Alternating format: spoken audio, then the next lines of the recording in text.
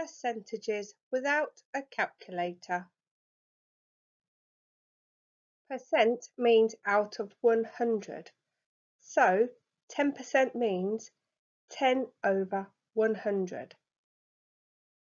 Percent is a fraction where the bottom number would always be 100.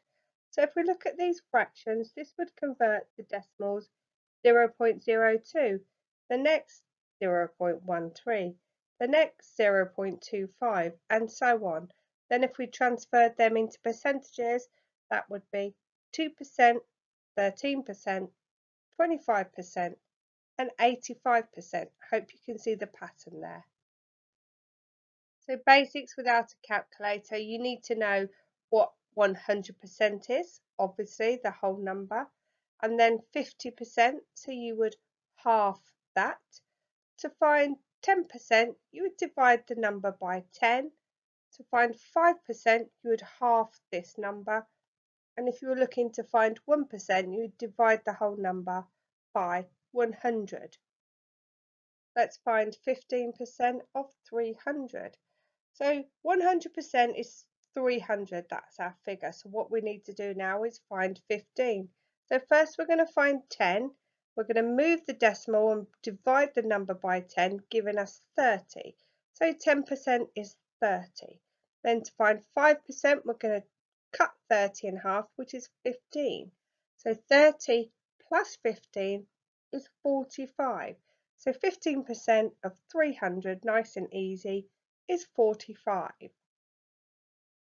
Find 25% of 160. So we know our 100% is 160. If we half that, we're going to find out what 50% is, which is 80. And then to find 10%, we're going to divide it 160 by 10, giving us 16. And half of that is 8. That gives us our 5%. So we can add our 10%, 10% and 5%, which would be 16, 16 and 8, giving us 40. Or we could do a short division. Fours into 1 do not go. You carry the 1 over to the next. That's 16. Fours into 16 go 4 times.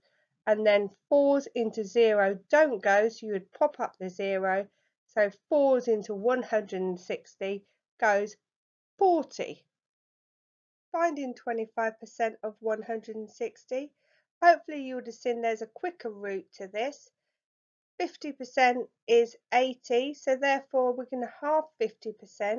That takes us straight to 40, so 25% of 160 is 40.